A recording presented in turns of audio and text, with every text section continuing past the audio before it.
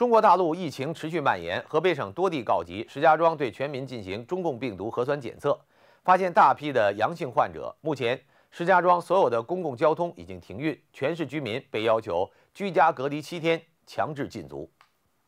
根据河北省卫健委通报，一月九号，河北省新增四十六例本地中共肺炎确诊病例，其中石家庄四十四例，邢台两例，新增十三例本地无症状感染者，均在石家庄。河北省现有本地确诊病例一百八十三例，本地无症状感染者一百八十一例。此外，官方声称，在省会石家庄一月六号到八号进行的全民集中核酸检测中，共检出阳性患者三百五十四人，遍布十二个县市区，其中藁城区有二百九十八人，占百分之八十七。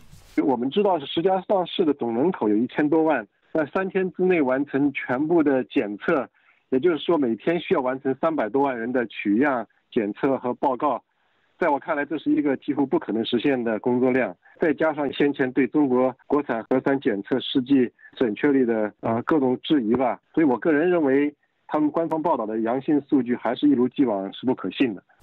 美国一家制药公司的医学总监朱伟表示。中共当局的疫情数据和西方国家的数据根本不具有可比性，因为中国大陆没有舆论监督，没有透明度，当局一直在竭力控制、封锁消息。这样的疫情数据只能用来欺骗老百姓。国际上基本没有采纳大陆官方发布的数据，外界只能大致从这些官方的数据来来窥测一下疫情在中国的。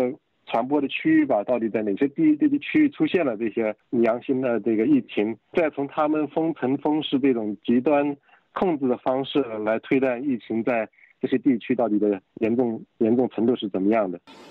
时事评论员田园也谈到，中共早就吹嘘说已经控制住了疫情，但实际上病毒一直在不断的变异传播，而且将来很可能还会有更大规模的爆发。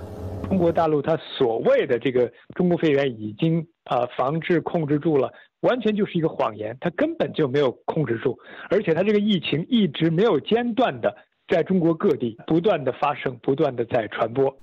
九号，石家庄市内的公交、地铁、出租车全部停运。此前，当局已下令严控人员和车辆流动，长途客车停运，居民小区实行封闭管理，从河北通往北京的通道被严格管控。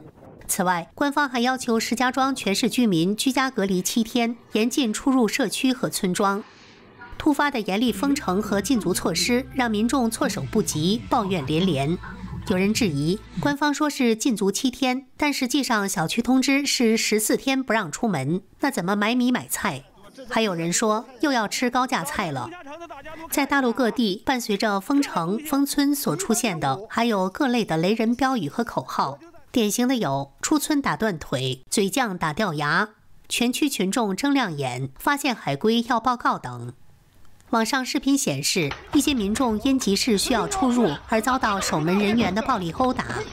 与其说这个手段是一种防疫的手段，不如说中共是把这种手段。做成了一种阻断信息流动、彻底封杀言论自由的这样一种极端手段。这种手段是极其的反人类、极其的反人道，并且是违反了人的最基本的人权的。这是这是毫无疑问的。中共所谓的防疫的成功、抗疫的成功，完全是以牺牲人命、牺牲中国人民的最基本的人权为代价的。一位河北货车司机被长时间困在公路站点上，非常气愤与无奈。不让我吃饭，也不给我加油，你说我怎么走？你说大哥，你说我怎么走？你你报警，你报警抓我走，行了吗？行不行？按照官方的说法，一月二号河北出现新增确诊病例，此后疫情迅速蔓延。五号，河北全省进入战时状态。目前，石家庄市藁城区是全国唯一的疫情高风险地区。